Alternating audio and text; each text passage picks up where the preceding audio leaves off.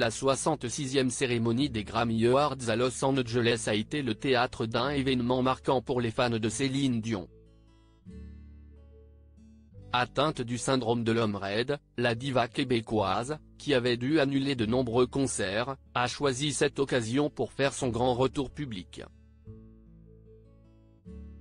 Vêtue d'une élégante robe signée Valentino, elle a remis le prix du meilleur album à Taylor Swift, sous un véritable tonnerre d'applaudissements. Merci à tous. Je vous aime tant. Quand je dis que je suis heureuse d'être ici, je le pense de tout mon cœur, a-t-elle déclaré, très émue. À ses côtés, son fils aîné René Charles Angélil a également marqué les esprits, non seulement par son élégance, mais surtout par le soutien indéfectible qu'il semblait offrir à sa mère en cette occasion spéciale. De noir vêtu, contrastant avec la tenue claire de sa mère, René Charles a lui offert son bras, l'accompagnant sur scène pour la remise du prix. Kylie Minogue, Paris Hilton, Heidi Klum.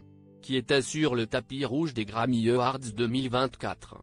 Pourtant, depuis l'été dernier, de nombreuses rumeurs suggéraient une relation tendue entre Céline Dion et René Charles.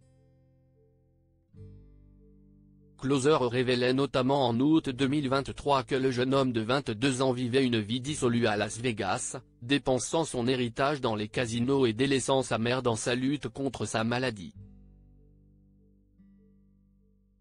La biographe de l'ouvrage Céline Dion, Le pouvoir de l'amour, Elisabeth Reynaud, évoquait même auprès de Ciné Télé Revue un désir d'être indépendant, manifesté de manière violente par René Charles, ce qui aurait contribué à leur éloignement.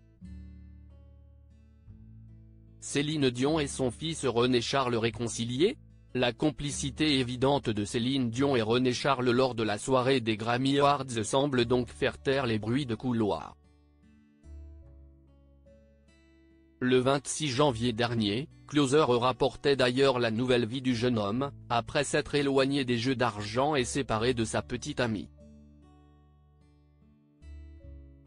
René Charles serait donc bel et bien réconcilié avec sa mère, et à nouveau à ses côtés, adoptant une attitude plus responsable et prenant à cœur son rôle auprès de ses frères jumeaux de 13 ans, Nelson et Eddie. Crédit photo, Chelsea Lorraine Bar oblique Sipa.